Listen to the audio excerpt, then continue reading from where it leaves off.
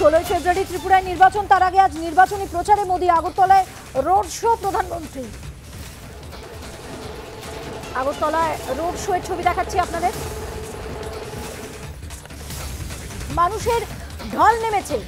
আগামী ষোলোই ফেব্রুয়ারি ত্রিপুরায় নির্বাচন রয়েছে, আর সেই বিধানসভা নির্বাচনের আগে রোড শো এর ছবি দেখাচ্ছি, যেখানে প্রধানমন্ত্রী নরেন্দ্র মোদী আজকে দ্বিতীয়বারের জন্য এসেছেন আগরতলা এবং সবার পর যে রোড শো, সেই রোড শোতে প্রধানমন্ত্রী মোদী অংশ নিয়েছেন। এক্সক্লুসিভ ছবি দেখাচ্ছি, আর সেখানেই দেখুন কাতারে কাতারে মানুষ। এই মুহূর্তে মোদী ম্যাজিকে বুট গোটা ত্রিপুরাবাসী।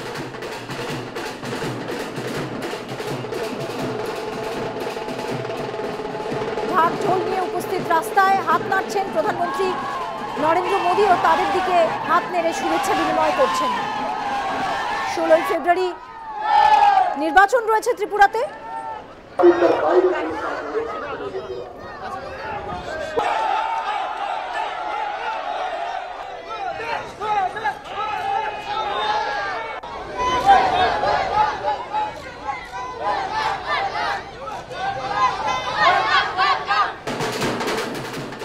দেখতে পাচ্ছেন সেই ছবি, এই মুহূর্তে এগিয়ে চলেছেন প্রধানমন্ত্রী নরেন্দ্র মোদী, তার রোড শো চলছে। এর আগেই আজকে সভা করেন তিনি এবং সেখানে তিনি বেশ কিছু বক্তব্য রাখ- রেখেছেন, যেখানে তিনি কংগ্রেস এবং সিপিএমকে গত একদিন আগে তিনি জনসভায় এসে যে বক্তব্য রেখেছিলেন, যেভাবে আক্রমণ করেছিলেন, আজও সেই একই বক্তব্য তার গলায় দেখা গেছে, যেখানে তিনি বলছেন যে, কেরালায় কুস্তি আর ত্রিপুরায় দোস্তি, এটা কেন?